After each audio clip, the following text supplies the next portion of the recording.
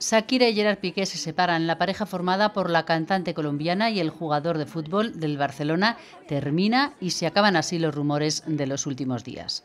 Lo ha confirmado el artista en un escueto comunicado enviado a la agencia EFE. Dice así, lamentamos confirmar que nos estamos separando. Pedimos respeto a nuestra privacidad. Se acaban 12 años de unión. La relación comenzó en Sudáfrica en 2010. Shakira triunfó con el Waka Waka y Piqué con la selección española ganó el Mundial. De esta vida en común en la que no ha habido boda han nacido dos hijos, Milan y Sasa, de 9 y 7 años. Según diversas informaciones, Shakira se habría quedado en el domicilio familiar de Esplugas de Llobregat, mientras que Piqué se habría instalado en el que fue su piso de soltero en Barcelona. La noticia de la separación viene poco después de conocerse que Shakira va a ser juzgada en España por defraudar 14 millones y medio de euros a Hacienda.